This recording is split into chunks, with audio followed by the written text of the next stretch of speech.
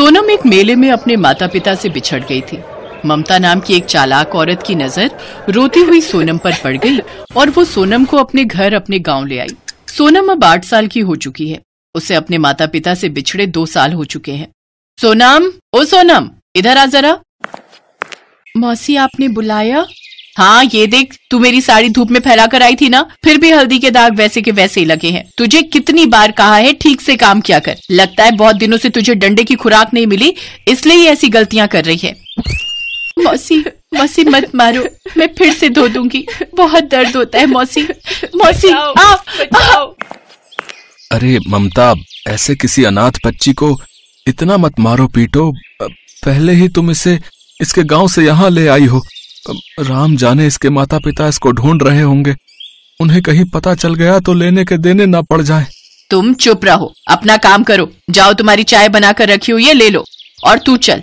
जा अब घर के बाकी के काम कर, तभी खाने को कुछ दूँगी, वरना भूखे रहना पड़ेगा। ममता इसी तरह सोनम पर अत्याचार करती थी। सोनम अपने माता पिता को याद करके बहुत रोती। माँ, बापू आप कहाँ चले गए। मुझे आपकी बहुत याद आती है। मौसी मुझे बहुत मारती है। मेरे से सारे घर के काम करवाती है। हाँ बापू, आप कहाँ हो? कहाँ हो आप?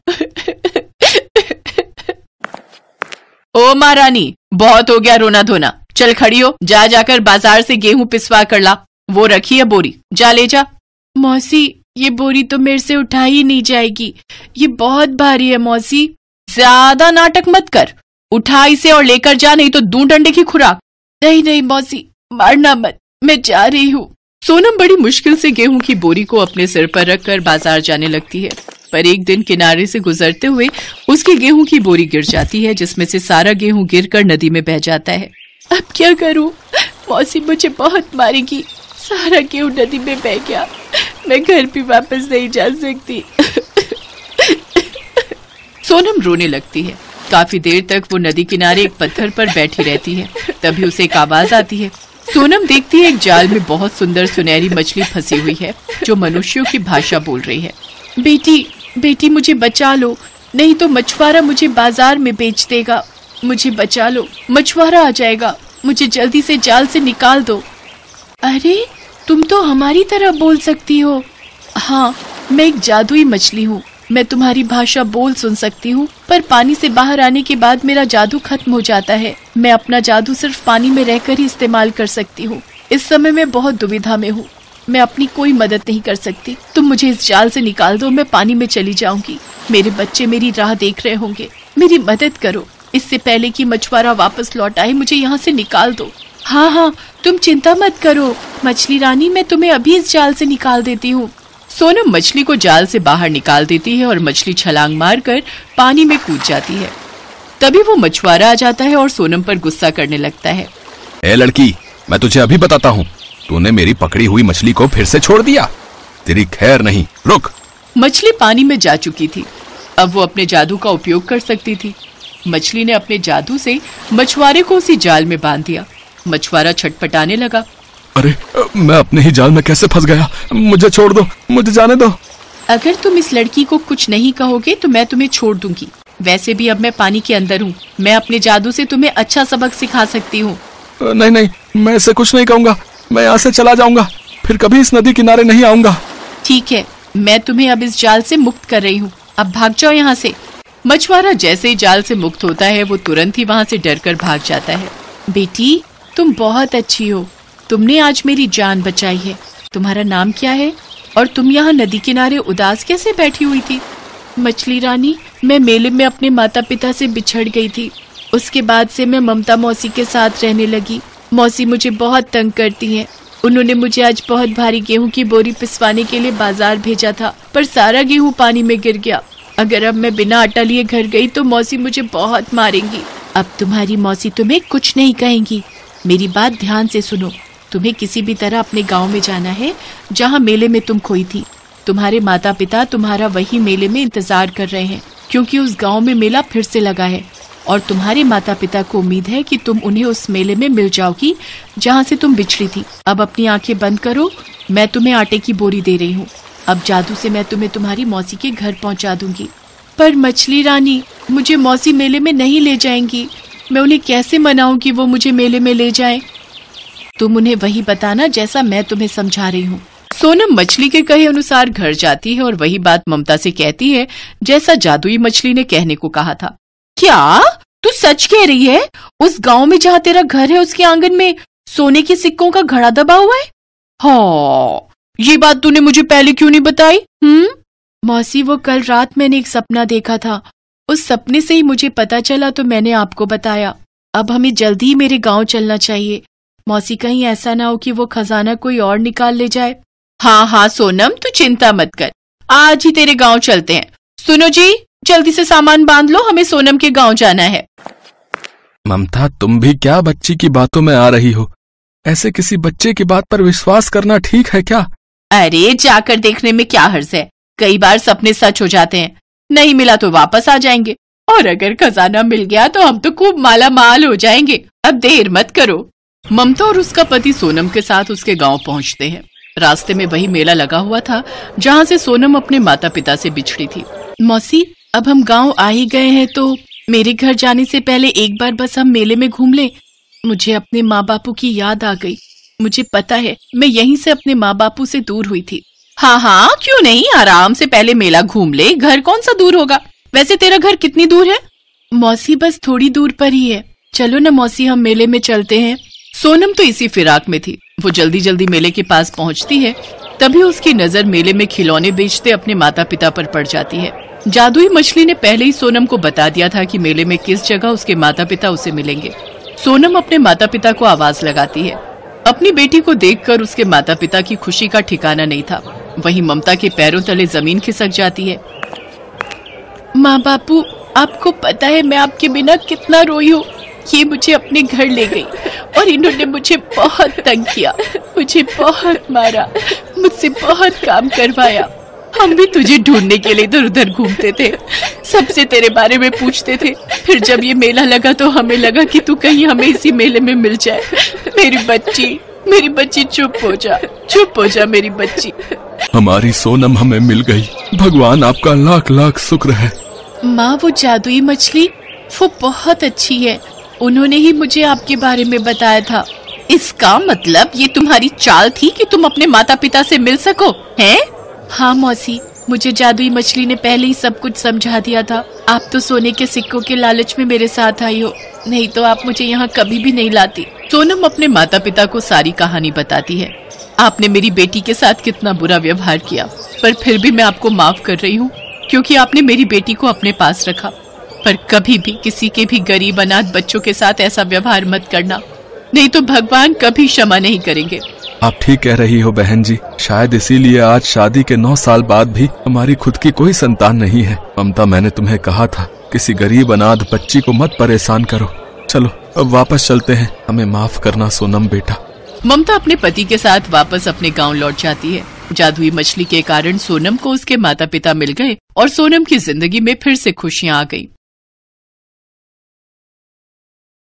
दिल्ली शहर में रमेश और टीना दोनों भाई बहन थे और उनके माता पिता एक बाढ़ के कहर का शिकार हो गए थे। उनके पास ऐसा कोई नहीं था जो उनका ख्याल रख सके। एक दिन वो दोनों खाने की तलाश में एक गली से दूसरी गली भटकते रहते थे। रमेश अपनी बहन टीना से बोलता है, दीदी, मुझे बहुत भूख लगी है। आज सुबह से कुछ खाने को नहीं मिला है। मुझसे और भूख बर्दाश्त नहीं हो रही। रमेश बस थोड़ा और इंतज़ार कर हमें कुछ खाने को मिल ही जाएगा। तू चिंता मत कर चल हम दूसरी गली में चलकर देखते हैं। दूसरी गली के बाहर एक गेट लगा हुआ था। उसके पास ही एक चौकीदार बैठा हुआ था। रमेश और टीना गली के अंदर जा ही रहे थे। तभी उन दोनों को वहाँ बैठा चौकीदार रोकता है। अरे अरे कहाँ जा रहे हो? हैं? चलो निकलो यहाँ से। चलो। अंकल हमने सुबह से कुछ नहीं खाया है। हमें अंदर जाने दो। क्या पता कोई हमें खाना दे दे? अरे यहाँ भीख मांगना मना है। चलो चलो जाओ यहाँ से।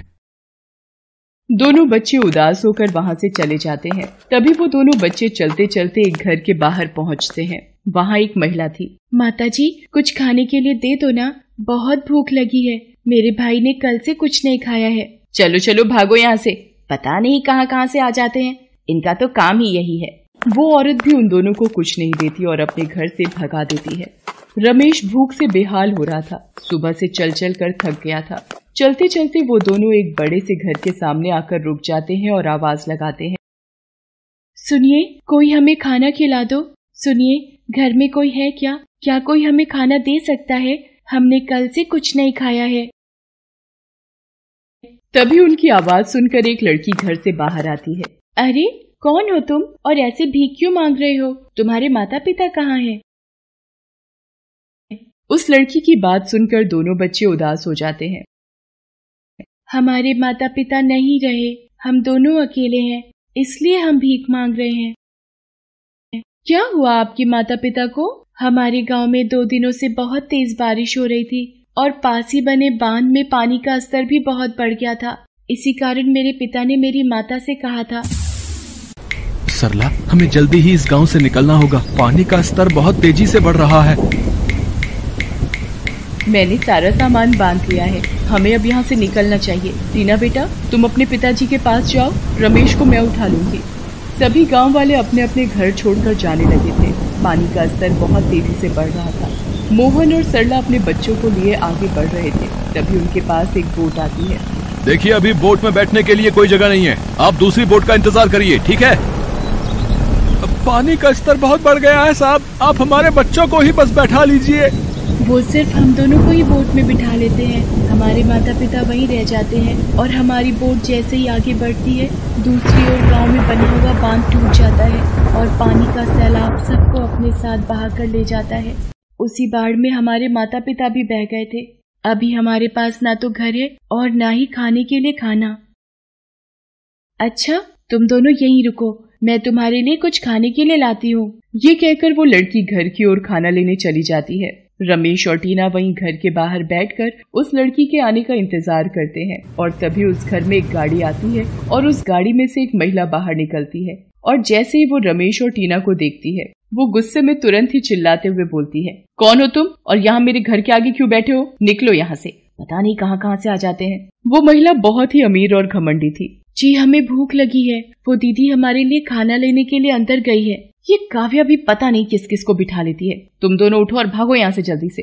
वो औरत रमेश और टीना की कोई बात नहीं सुनती और उन्हें वहाँ से भगा देती है। तभी वो लड़की काव्या खाना लेकर घर से बाहर आती है और वो देखती है कि वो दोनों बच्चे तो वहाँ हैं ही नहीं। अरे, वो दोनों बच्चे कहाँ चले गए?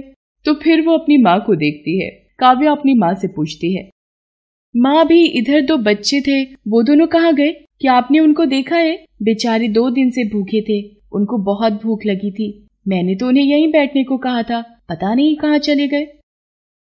मैंने उन दोनों को यहाँ से भगा दिया। तो ऐसे किसी की भी बातों में मत आया कर। तुम्हें ये कितनी बार समझाया है? ये सिर्फ़ गरीब दिखते हैं। लेकिन ये बहुत चालाक होते हैं। मौका मिलते ही चोरी करके रफू चक्कर हो जाते हैं। माँ, वो दोनों बहुत अच्छे थे। उन बच्चों के माता पिता बाढ़ में बह गए थे। अब उनका कोई नहीं है। इसीलिए वो भीख मांगकर अपना गुजारा कर रहे हैं। काव्या की माँ उसकी बात नहीं सुनती और वो दोनों घर के अंदर चले जाते हैं। काव्या भी अपने कमरे में चली जाती है, लेकिन अभी भी काव्या उन बच्चों के बारे में सोचती रहती है। पता नहीं उन बच्चों को कहीं खाना मिला होगा भी या नहीं। और काव्या भगवान गणेश जी से प्रार्थना करती है, हे गणेश जी, जैसे आप मेरा साथ देते हो, वैसे ही उन बच्चों पर भी अपनी कृपा करना। और दूसरी तरफ़ रमेश और टीना खाने के लिए दर दर भटक रहे थे। दीदी मैं बहुत थक गया हूँ। चलो ना कहीं हम बैठ जाते हैं।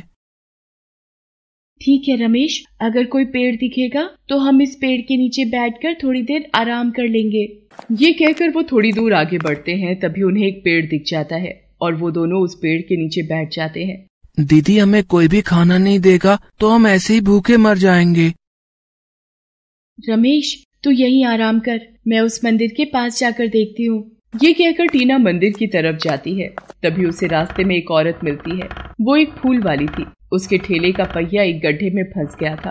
टीना उसके पास जाती है। क्या मैं आपकी मदद करूँ? हाँ बेटा। मेरे ठेले का पहिया इस गड्ढे में फंस गया है। तुम मेरे साथ इसको धक्का लगवा दो। टीना उस औरत के साथ ठेले पर धक्का लगवाती है और ठेला गड्ढे से बाहर आ जाता है। धन्यवाद बेटा। क्या नाम है तुम्हारा? मेरा नाम टीना है आंटी। क्या आपके पास कुछ खाने के लिए है? मेरा भाई बहुत भूखा है। बेटा, अभी तो मेरे पास कुछ नहीं है। क्या तुम यहाँ अकेले हो? हाँ हम दोनों भाई बहन ही एक दूसरे का सहारा हैं। ये बात सुनकर उसको उन पर दया आ जाती है। मेरा नाम सुधा है। तुम मेरे साथ मेरे घर चलो। मैं तुम्हें वहाँ कुछ खाने को दे दूँगी। मेरा घर यही पास में है। तीनों और रमेश सुधा के साथ चल देते हैं। वहाँ पहुंचकर सुधा उन दोनों को खाना देती है। दोनों बच्चे खाना खाने लगते हैं। उनको खाना खाते देखकर लग रहा था कि वो दोनों कई दिनों से भूखे हैं। और उन्होंने कुछ नहीं खाया। दोनों की हालत देखकर सुधा की आँखों में आँसू आ जाते हैं। धन्यवाद आंटी जी। धन्यवाद बेटा मेरा नहीं गणेश जी का करो क्योंकि उनकी ही कृपा से हम मिल पाए हैं। मैं भी अकेली हूँ इस दुनिया में पर अब हम सब मिलकर एक साथ रहेंगे। तीनों और रमेश ये सुनकर बहुत खुश हो जाते हैं। उसी दिन से वो तीनों साथ में रहते हैं और तीनों ही फूल बेचने भी जाया करते थे और वो एक परिवार के रूप में प्रेम से रहने लगे। हेलो दोस्तों कैसे हैं आप सब? हमारी कहानियाँ देखने के लिए हमारे चैनल को सब्सक्राइब कीजिए। और हाँ बेल आइकॉन पर क्लिक करना मत भूलिएगा।